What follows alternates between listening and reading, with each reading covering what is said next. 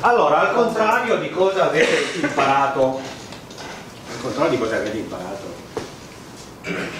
voglio essere un pochettino diverso no? da cosa avete imparato nel corso istruttorio, molti saranno istruttori di primo livello, di secondo livello, allenatori. No, no, tutti primo livello. Tutti primo livello. Vabbè, tanto, in Italia... Eh, Semiterrato. No, ma vabbè, ma la FITARCO effettivamente fa un corso di primo livello di alto livello, c'è pochissima differenza tra il primo e il secondo livello, al contrario di molti altri sport dove effettivamente il primo livello non è altro che un promotore sportivo, no? quello che deve insomma, indirizzare, non far far male alla, alla gente, invece il corso di primo livello FITARCO è di un ottimo livello, quindi può già portare alle competizioni i propri arcieri il secondo livello eh, approfondisce molti degli argomenti che comunque sono già stati visti, ma non è che ne mette di nuovi, se non fosse anatomia. Il, eh, approfondisce solo, quindi sapete già tantissime cose. Quindi sa, dovete conoscere già alla perfezione quelli che sono i, i caratteri fondamentali del tiro con l'acqua, che verranno, verranno detti, no? equilibrio statico, equilibrio dinamico, contatti, allineamenti. Ecco, io invece voglio un po' portare i fondamentali su quello che è un po' la sequenza di tiro, no? Quindi poi alla fine della fiera quello che ci interessa sapere è che ci sono delle cose ben specifiche da fare e vanno fatte nel modo migliore. Anche perché noi dobbiamo poi prendere, io qua ne ho messi, ho messo queste 13 eh, passi, passi delle, delle, dei fondamentali, dove noi possiamo però scomporre ogni singolo passo in tutto quello che ci sta dentro, no? quindi ogni singolo passo dovrà essere scomporto. Poi parleremo anche della sequenza di tiro, che è un'altra cosa la sequenza di tiro, perché la sequenza di tiro non è data, forse qua al secondo livello approfondisce un, un pochino di più, la sequenza di tiro non è data solo da passi fisici, da quelli che sono i forse fondamentali, ma la sequenza di tiro è fatta da una sequenza di pensieri questa è la cosa più importante, ma ne discuteremo quando vedremo, discuteremo la mia sequenza di tiro e la mia sequenza di pensieri. Allora intanto il posizionamento, il posizionamento che è il libro statico, è inutile che ne parliamo, lo conoscete alla perfezione, io consiglio sempre di non andarci a cercare grane come vediamo in giro per gli olimpici, ma di posizionarci voi fate, fate mente locale a come si posizionano i compound. A cavolo, è vero? Come gli viene comodo. Ok? Bene, l'arco nudo uguale. È bene che non, non, stiate troppo, fate provare i vostri allievi vari tipi di posizionamento. Anche col piede indietro, vedo che qualcuno ha un po' il piede indietro perché preferisce eh, sistemarsi meglio. Va bene, uguale, non, non siate non, non, non formatevi un modello nella vostra testa per quanto riguarda il posizionamento. Il posizionamento, l'equilibrio statico deve essere comodo. Una volta che io sono in posizione, come dice il corso, no? piedi paralleli a cavallo della linea di tiro all'altezza delle spalle, spalle rilassate. Va bene. Non è che una volta che avete insegnato questo ai neofiti poi cambia qualcosa. È la, la cosa migliore piedi paralleli a cavallo della linea di tiro all'altezza delle spalle, spalle rilassate. Questo è l'equilibrio statico. Poi possiamo discutere sui piedi che sono delle radici eh, nel terreno che affondano e che ti rendono una quercia, sì, va tutto bene. Piedi paralleli a cavallo della linea di tiro all'altezza delle spalle, spalle rilassate. Eh ma se io tiro in posizione aperta con le anche, perché? Perché dobbiamo inserire variabili?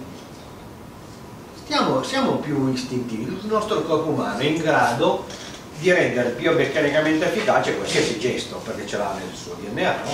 Quindi cominciamo ad attuare, ad attuare questa, questa regola, poi eventualmente una, delle leggere personalizzazioni le possiamo. No, mi raccomando, non fissatevi un metodo, un modello che avete voi in testa, perché sicuramente non va bene, fate solo danni. perché non, eh, sarà sicuramente sbagliato, ce ne sono mille, mille, mille, e vedremo.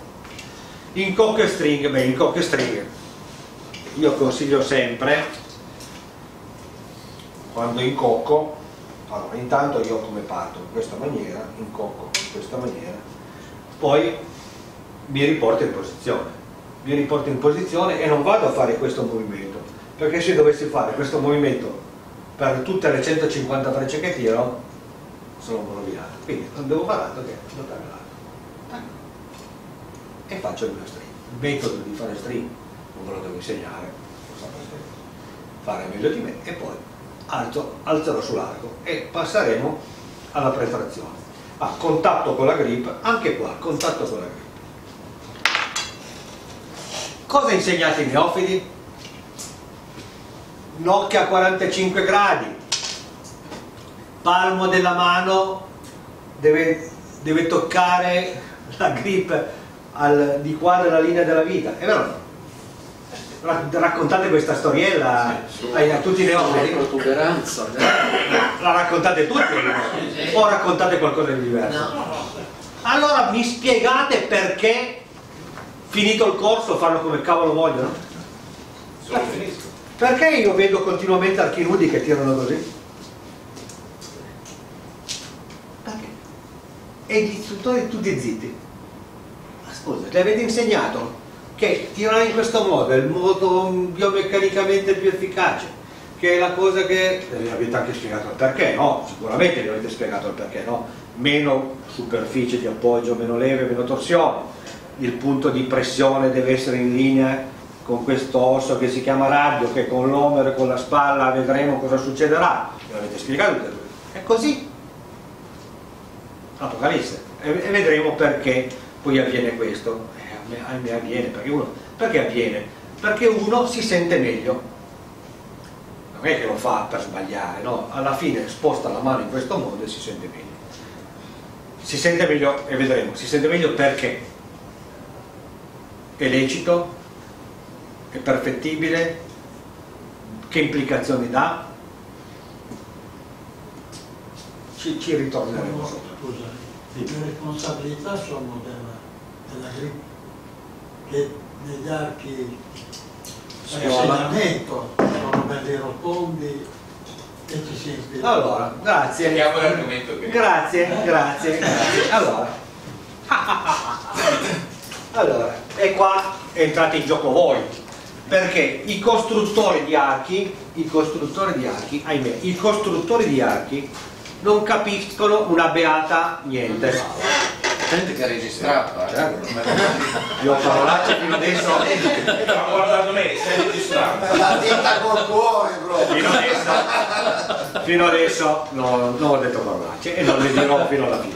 Allora, sappiate che questa grip, questa grip qua, è la grip del green horn.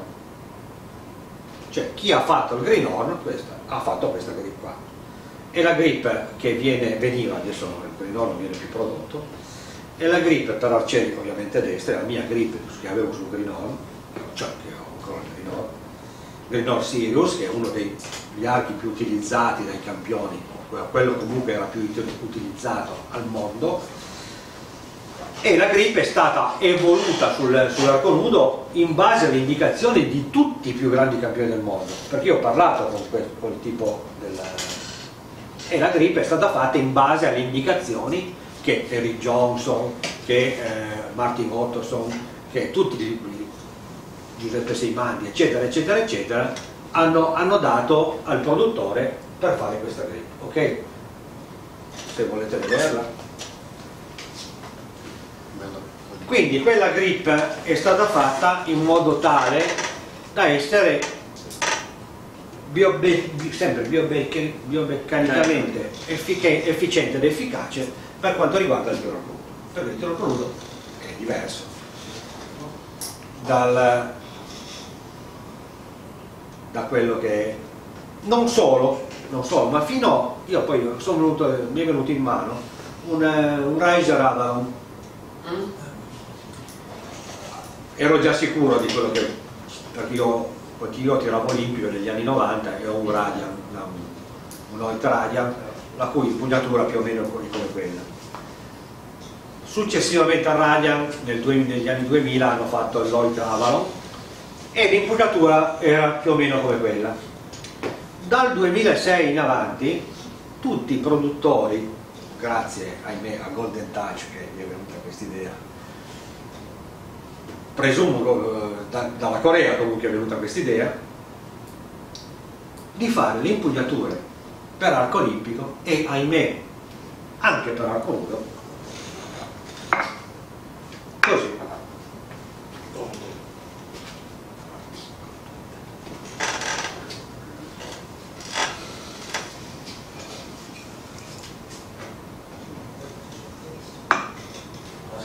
è vero o no? È vero con un angolo di torsione clamoroso. Non solo con un angolo di torsione clamoroso ma con la faccia completamente al contrario. E tutti i produttori di archi anche archi nudi, anche spigarelli anche eh, tutti tutti gli archi nudi anche ahimè eh, Smart Riser qui gli dissi ma questo impugnatura non va bene. Come non va bene? Oit la fa così e io cosa potevo dire? Chi sei te in confronto a noi per dire così? Io ho preso la mia lima, l'ho limata, ben bene bene anche l'alluminio limato, e l'ho fatta diventare come, come quell'impugnatura lì, perché prima era così. Ed è fatta proprio per essere con spalla estroflessa, come si usa adesso, anche nel compound adesso si usa molto la spalla estroflessa, quindi spalla estroflessa, impugnatura all'interno, allineamento, allineamento diagonale verso il bersaglio, ma sull'arco nudo, ahimè, questo non si può fare, non si può proprio fare, e vedremo perché, non si può fare, non è, non è, non si può, non si può fare perché è peggiorativo, no? Noi siamo sempre alla ricerca di qualcosa che è biomeccanicamente compatibile con l'azione che- dovremmo fare, quindi biomeccanicamente deve essere compatibile con l'azione, non possiamo avere un modello che va bene per qualcos'altro, no? Non possiamo usare i fondamentali della pallacanestro nel gioco del calcio e viceversa, perché se vanno bene da una parte non è detto che vanno bene dall'altra. La stessa cosa vale per l'arco nudo.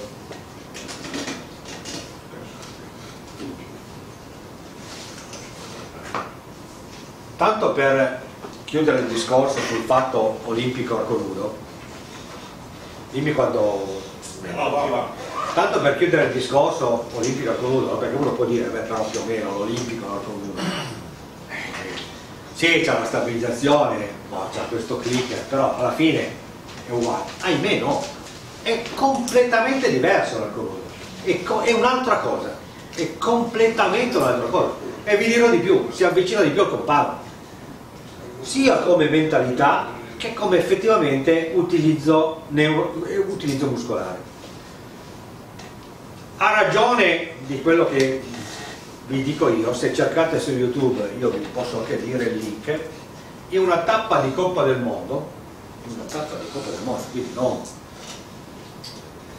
in una tappa di Coppa del Mondo, alla fine delle gare, Brady Ellison, Jean-Charles Valadon e René Serrano, che ovviamente, ahimè tutti conoscete, no? Sono i più tra i tre più forti tiratori del mondo, Jean-Charles Valadon, medaglia d'argento olimpica, Brady Ellison, medaglia di bronzo olimpica, René Serrano, vincitore di una, di una finale di Coppa del Mondo, o comunque di una gara di Coppa del Mondo, si sono sfidati ad nudo. Sì, ed è stato tutto ripreso dalla World Archery e sul sito di World Archery, sul sito YouTube di World Archery c'è questa sfida che è stata fatta fra i tre big top archery cosa hanno fatto? hanno smontato il loro, il loro arco quindi hanno tolto tutta la stabilizzazione hanno sfilato il mirino hanno inserito la freccia senza il clip e si sono sfidati come? a 30 metri su una visuale da 122 allora stiamo parlando di Brady Ellison stiamo parlando di Jean-Charles Valadon di René Serrano, non di, no, di non lo so chi. Allora, pum, uno alto, pum, due a destra, pum, due a sinistra, quattro, cinque, ripeto, a 30 metri su una misura da 122. Questo cosa significa? Significa che non è immediata la cosa, che, che uno tutto sommato dovrebbe dire, beh, perlomeno tiro tre frecce dallo stesso punto, ovunque esse siano, contromiro, miro nell'uno basso, ancora sempre uguale, che così poi hanno fatto. Ma le frecce sono andate dappertutto perché non avevano più la stabilizzazione, non sapevano più come regolarsi, il loro corpo non capiva più niente. Quindi per dirvi che effettivamente c'è una grande differenza per quanto riguarda l'arco olimpico. È molto più facile con un arco nudo tiro olimpico senza fare grandi danni che viceversa. Detto questo, avete visto le impugnature? Avete visto la differenza che c'è? Ora volevo farvi vedere un'impugnatura mancina. Che un'impugnatura mancina andrebbe bene. Questa è un'impugnatura mancina. Se voi la utilizzate con la sinistra, quindi da destro, vedete che andrebbe perfettamente bene per l'arco nudo. Qui, ahimè, eh, lo dico ancora una volta, non fateci comprare tutte queste linee. Se volete vi presto l'impugnatura che il Greenor montava, che andava benissimo, Ma io so il minore, ma quando è arrivato non avevo trovato quella linea, era fatta proprio tonda. sì, ma te c'è quello del No, no, 1821. Tre anni fa, quando è arrivato tonda. Vabbè, questa è quella del mio e quella che avevo anche sì mani, quindi... Io uno dei dubbi che l'ho comprato aveva proprio una schia d'asino aveva. Sono stato due giorni animato. Va bene. Va, va, va. Allora.